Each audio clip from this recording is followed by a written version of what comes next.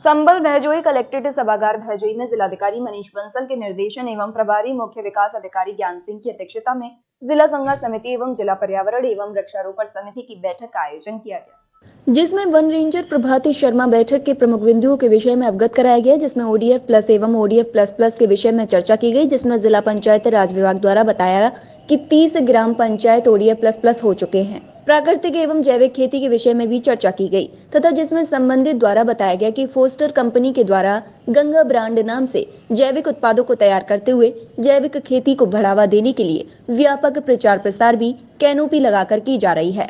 प्रभारी मुख्य विकास पदाधिकारी ने संबंधित को निर्देशित करते हुए कहा कि जैविक खेती को बढ़ावा देने के लिए साप्ताहिक एवं पाक्षिक बैठक आयोजित कराए ताकि अधिक से अधिक किसान जैविक खेती से जुड़ सके। गंगा ग्राम के नज़दीक गंदे पानी की गाद को पुनः उपयोग कराए जाने को लेकर भी चर्चा की गई एवं आवश्यक दिशा निर्देश दिए गए।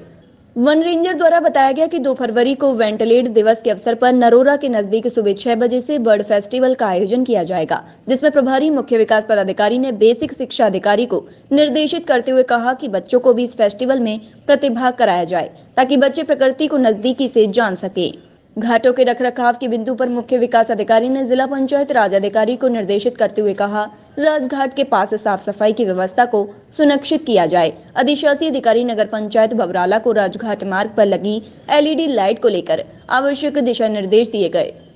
कैच द रन के बिंदु को लेकर प्रभारी मुख्य विकास पदाधिकारी ने संबंधित को निर्देशित करते हुए कहा कि गंगा किनारे के तालाबों की साफ़ सफ़ाई कराई जाए। इसके उपरांत जिला पर्यावरण एवं वृक्षारोपण समिति की बैठक का भी आयोजन किया गया।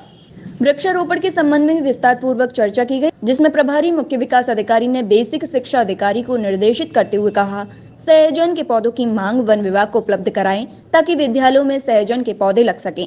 मुख्यमंत्री डैशबोर्ड पर पौधों की जीवतत्ता को लेकर भी जानकारी प्राप्त की गई। एवं समस्त विभागों को निर्देशित करते हुए कहा कि पौधों की जीवतता से संबंधित रिपोर्ट डैशबोर्ड पर अपलोड कराना सुनिश्चित करें। ई वेस्ट मैनेजमेंट, गंगा स्वच्छता आदि को लेकर भी चर्चा की गई एवं संबंधित को आवश्यक दिशा निर्देश भी दिए गए।